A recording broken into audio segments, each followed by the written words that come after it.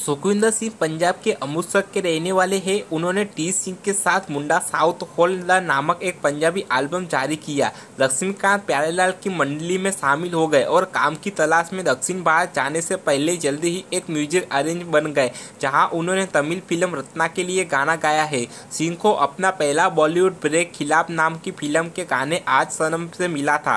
Hindi film में उनका पहला प्रयास आज सनम काफ़ी हद तक किसी का ध्यान नहीं गया, भले ही एक संगीत में लक्ष्मीकांत प्यारेलाल का नाम ना था। फिर दिल से के लिए ए आर रहमान ने छैया छैया के लिए सुखविंदर का इस्तेमाल किया।